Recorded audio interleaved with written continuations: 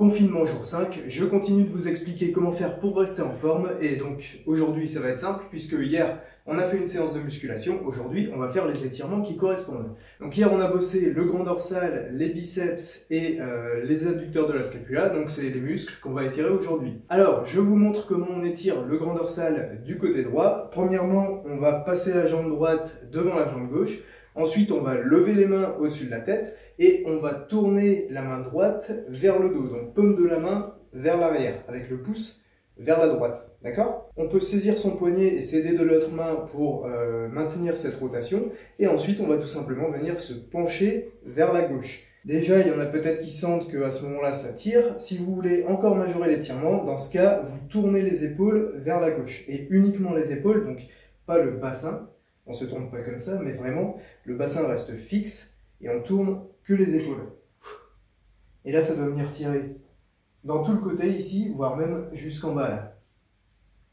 On maintient donc cette position-là pendant 30 secondes à faire de chaque côté, en respirant profondément. Ensuite, pour étirer les biceps, on va trouver un support qui est à peu près à cette hauteur-là. Ça peut être une table, ça peut être une chaise, enfin peu importe, quelque chose sur lequel on va pouvoir accrocher ou poser notre main. On va se mettre dos à ce support et on va venir poser la main dessus avec la paume vers le haut, donc comme ceci. Voilà, moi je ferme le poing, euh, je trouve ça plus pratique. Ensuite ici, on avance les jambes pour se mettre un petit peu en fente et on garde les épaules à 45 degrés par rapport au support. C'est-à-dire qu'on n'est pas complètement dos au support comme ça, on est légèrement tourné sur le côté. Donc, le bras tendu, la main posée avec la paume vers le haut, à 45 degrés du support, et on va tout simplement venir plier les genoux pour se pencher. Vous devez sentir que ça vient tirer dans le biceps. Il y a une deuxième méthode pour le faire, mais qui est moins efficace, c'est tout simplement de venir attraper sa main ici, de casser le poignet, et de tendre le bras comme ceci.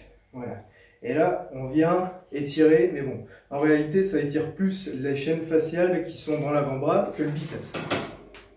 Bah alors, Choupi, qu'est-ce qui t'arrive? Choupi, eh, bouge pas les ongles.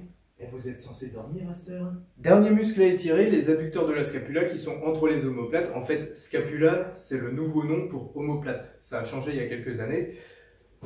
Voilà. Avant, on disait omoplate, maintenant, on dit scapula. Donc cela, pour les étirer, c'est pas toujours évident. Ce qu'on va faire, c'est qu'on va venir essayer d'attraper nos omoplates d'un côté et de l'autre et de tirer dessus. Je vais vous expliquer avec Sam, ce sera plus clair. Sam, ramène-toi vite fait.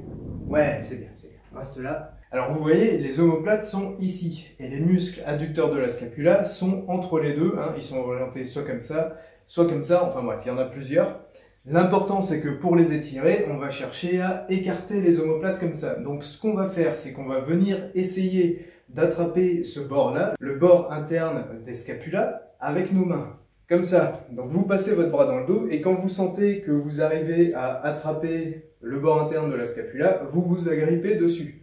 Et idem de l'autre côté. Une fois que vous êtes bien ficelé, ce que vous allez faire, c'est de vous enrouler vers l'avant comme ceci et ensuite de prendre une grande inspiration qui va venir gonfler la cage thoracique et tirer sur les scapulas. Et vous maintenez donc cette position-là pendant 30 secondes.